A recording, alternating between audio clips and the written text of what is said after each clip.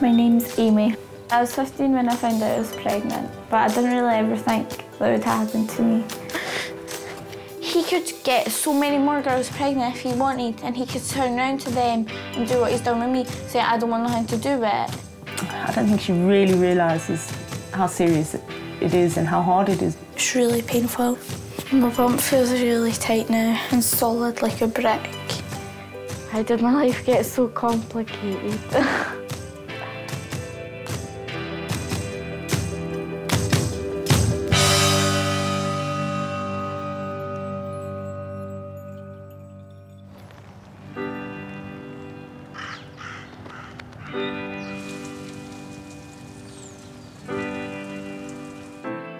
Amy's 16 and three months pregnant. She's an only child and lives with Mum Sally in Dunfermline, near Edinburgh. It's your first Christmas, so there you would have been three months old. Three months old, and I'm the size of your whole body. Look, I've got a double chin. Yeah? I've got a double chin at three months. If I had to be totally 100% honest, it's not something you wish for your, your 15 year old to be is pregnant and going to be a mom at, at 15. You don't want that for your child. But it's there, it's happened. I was with a boy and I felt like I loved him and I thought we were going to last, nothing ever was going to happen that would be bad. I fell pregnant probably about when we'd been together a month and a half. Well, we weren't actually using any contraception. It's like you never ever really think, oh, I'm going to be pregnant. So I phoned him and I said, I'm pregnant. And he, he was shocked and he was like, I don't want it. Often is the case, the woman is left with a child and the biological fathers or whatever can walk away if they, if they want to. You know, so yeah, I'm quite angry about it. He knows it's his child and that, but I don't think he wants to accept it's his child. Because I do think that every single child deserves to know their daddy, even though some daddies don't deserve to know their children. But I would still like it to know its biological father. She's always had a boyfriend. She had to have a boy, and I said, You don't have to have a boyfriend. Amy could go with someone, and oh, two weeks later, it's a new one, and I couldn't keep up. If I didn't have a boyfriend, I'd just feel like lonely. I think security could be the reason why I like a boyfriend. In fact, I think it is.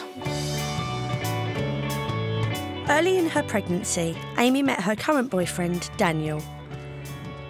He lives six miles away with his parents, but visits Amy every day. Remember, I'm eating for two. I thought, like, because I was pregnant, I wouldn't get anybody else, or, like, who's going to want to be with somebody that's got a child. But he's really seems so different. They're nice. I know you're probably thinking I'm just saying that, but no, they're nice. Daniel's five years older than Amy, and at 21, he's hoping to become an apprentice plumber. I met Daniel on Bebo, and I was just randomly started talking, but on my Bebo it said that I was pregnant, so he already knew I was pregnant. Uh, I knew straight away that she was pregnant. It didn't really bother me. I told her that I wasn't happy how she'd been treated and how her ex was like just left. It takes a boy to make a baby, but it takes a man to bring one up. So most of the boys should just man up and do what they need to do to help as much as they can. How would I hold a baby? To Ken, I told it like support its bum and then support its head. To Ken, that's how I would hold it. It'll come naturally. Might not come naturally to Daniel because he's a bit. Ah. Amy, that is so rude. he supports you so nicely. Amy and Daniel have only been seeing each other for six weeks. I am dad. I can feel it like Yeah. about here, oh, I feel properly. like. But you felt it before. No, but I want to feel like a proper kick. What, figure out if it's going to be a wee football player? Uh, if it's a wee boy, even if it's a wee girl. Daniel's in Amy's life now, and I just I love him to bits now. You know, and I couldn't ask for a better, a better daddy for, for the baby. Taking on Amy's unborn child has caused problems for Daniel. A lot of people thought that I, it was me personally that got Amy pregnant, when she was 15 and it was like, kind of getting, got made out to be a paedophile and but she was already pregnant. The, the fact is, is Amy's 16, I'm 21, she's pregnant, it's not mine, but I'm going to be the dad.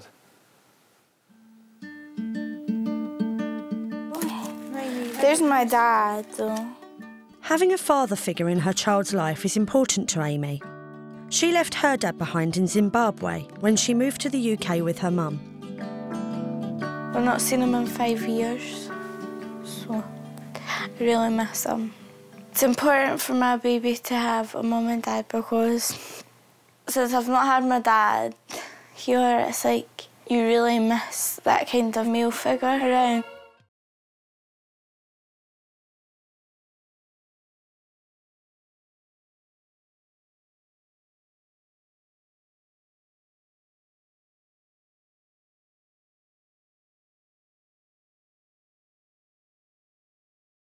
You're coming in the delivery room, Uh, you will bond. Like it's it's scary. Actually, it scares me the fact that if what if I didn't bond with this baby, or what if every time I went to pick the baby up, it cried.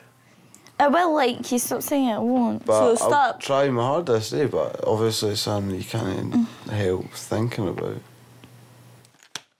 To help Daniel feel involved with her pregnancy, Amy is taking him along to her 20 week scan.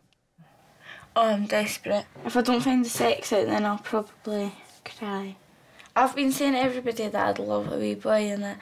So if I was like to be a wee girl, I'd still be so happy, but I'll feel bad because I've been saying I want a boy, and if it's a girl, I just feel so guilty that I've been saying that I wanted a boy. Right, are we going?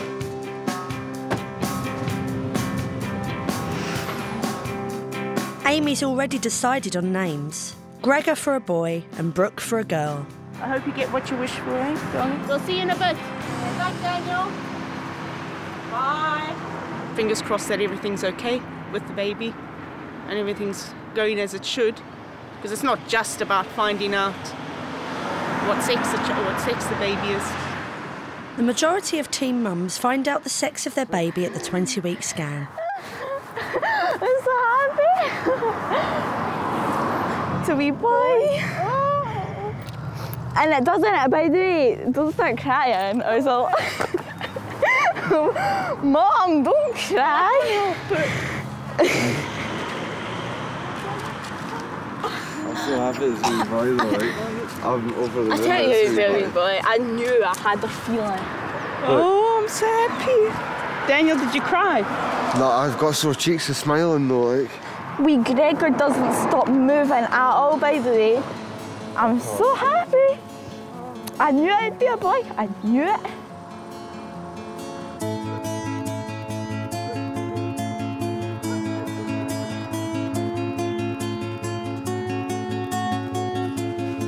The news that she's having a boy has made Amy think about how she would tell the biological father when the baby is born.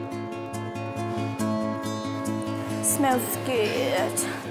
So, like, see when I go into labour, are we going to phone him in, like the biological dad and say, yeah, Amy's gone into labour and that, just to let you know.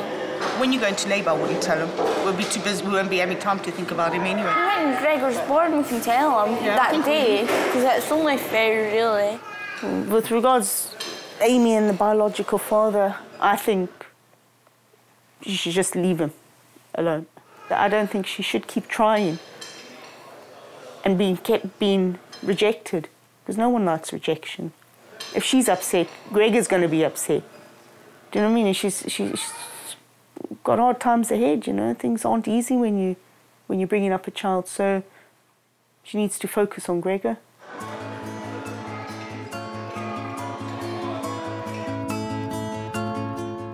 Amy wants to make sure Daniel understands why she plans to tell the biological father. Would you look scared? Actually, I don't know what you can ask me. when, like, the baby's born, how do you feel about, like, obviously I'm going to have to text the biological father and say Uh, he's born, but how are you going to feel about that? Is that going to make you feel upset or... It won't bother me. And then how would you feel if he wanted to come see? I wouldn't have been anywhere near it. I don't want to see him. And he's not spoke, not done anything for nine months, not even asked her how she is. But if he thinks he can just walk back in and get what he wants, he's got another thing coming.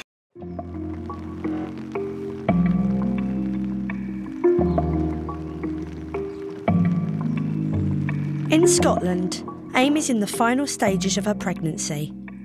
My bump feels really tight now and solid like a brick. Uh, it gets sore up here. It's really painful, like underneath my ribs.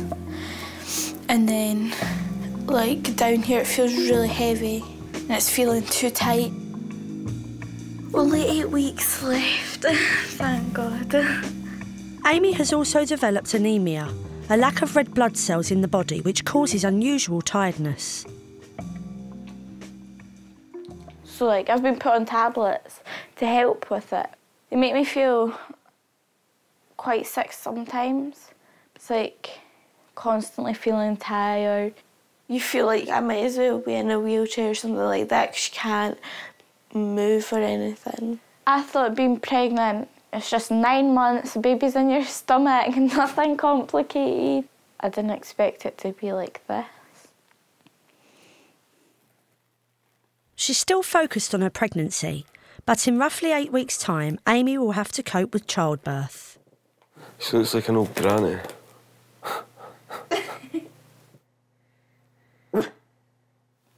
I'm nervous about the birth. I'm not even bothered about the birth, so as, I'm just gonna take games with me and stuff to play. I wouldn't say I'm scared for the birth that's gonna happen. I still don't think it's really hit me properly yet.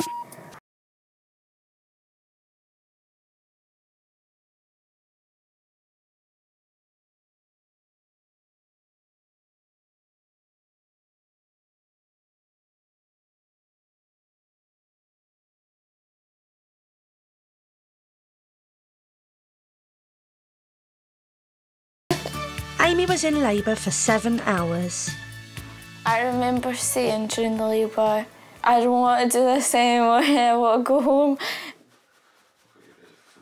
I didn't know how to take it, seeing her like screaming. It's hard to see anyone in that pain and not being able to do anything about it. When I got one of the really big contractions, it was like the pain was quite severe. I was panicking. That's what was making them more sore. There was no chance I would have been able to play board games, cards, even eat anything. Daniel was with Amy during her labour and Gregor's birth. All the way up to the labour, I was like, I'll be fine. I'm not that type of person. The minute I saw him, I just couldn't stop myself crying. I fell in love with him straight away. Gregor is nearly three weeks old, and fortunately, Mum Sally is sharing the baby care. There's shed loads of work when there's a little baby. If I had no support at all, I don't think I'd be able to cope. Do that for now. My mum does 60% and I do 40% of the hard stuff. I think I do a lot, but I don't mind doing it. He's my grandchild, so I'll do whatever. What's smelling? Looking at Amy, she's still a child.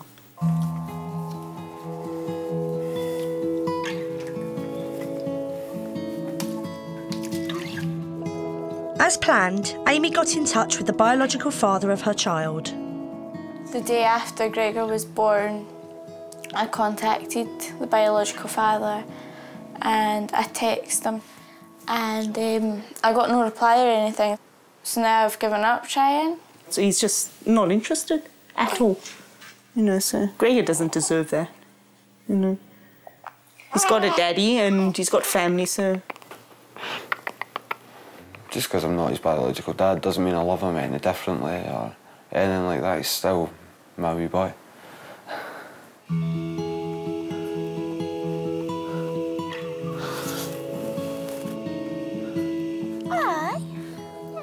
I am very proud of myself. but I'm more proud of the people that have helped me through it because I wouldn't have been able to do it without everybody else helping me. I love being a mum.